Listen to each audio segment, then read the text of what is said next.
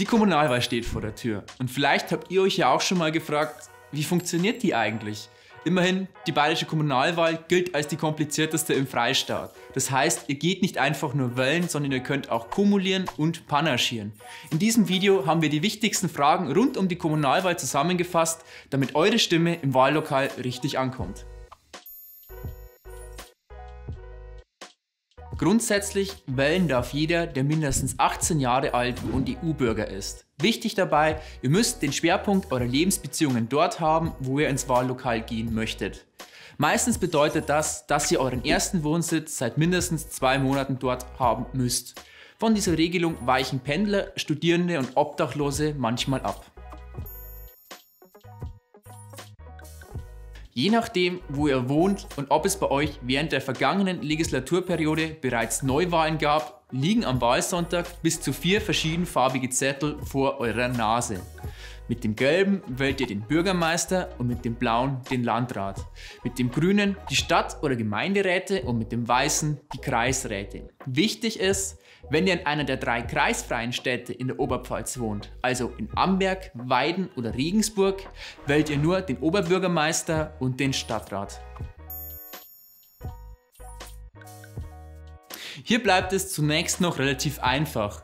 Bürgermeister und Landrat wählt ihr direkt. Das heißt, ihr habt jeweils nur eine Stimme zu vergeben. Wenn ein Kandidat beim ersten Wahlgang mehr als die Hälfte aller Stimmen bekommen hat, ist er gewählt. Wenn der Wahlgang aber noch nicht so eindeutig war, gibt es zwei Wochen später eine Stichwahl zwischen den beiden Bestplatzierten. Wenn ihr in einer besonders kleinen Gemeinde wohnt, kann es vorkommen, dass entweder nur ein Kandidat zur Bürgermeisterwahl antritt oder sogar gar keiner.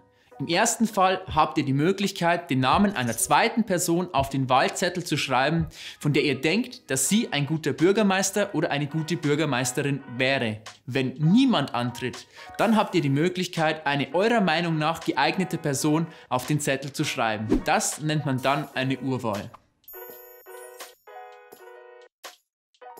Jetzt schauen wir uns die Wahlzettel für die Lokalparlamente ein bisschen genauer an. Das sind die Wahlzettel für den Stadt- und den Gemeinderat und den Kreistag. Auf diesen Zetteln haben die Parteien ihre Kandidaten in Listen zusammengestellt.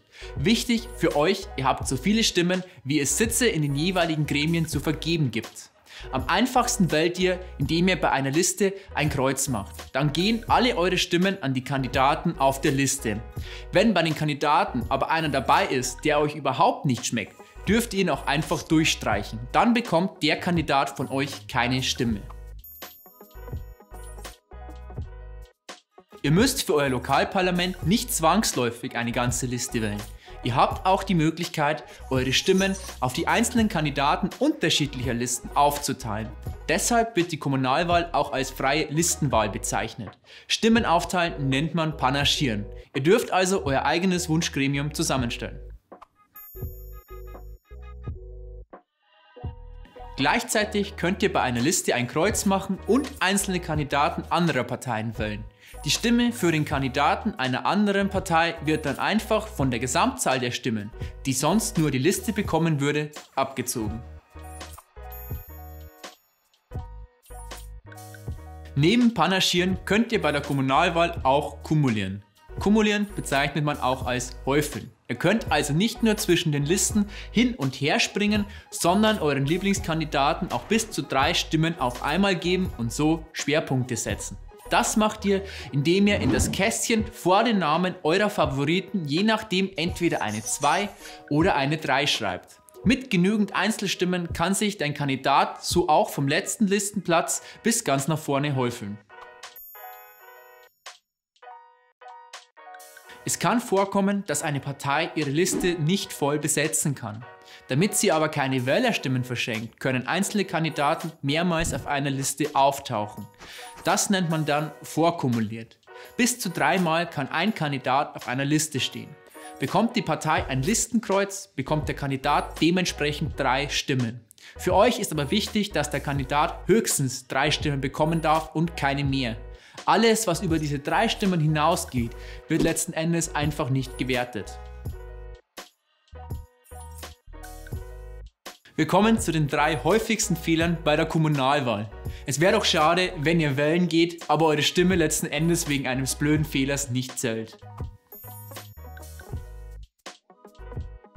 Achtet genau darauf, dass ihr nur so viele Stimmen vergebt, wie es Sitze im Regionalparlament gibt. Wenn ihr nämlich drüber seid, ist euer Wahlzettel ungültig. Kleiner Tipp, wenn ihr in der Kabine merkt, dass ihr euch verzählt habt, werft nicht die Flinte ins Korn, sondern geht zum Wahlhelfer und fragt ihn nach einem neuen Wahlzettel.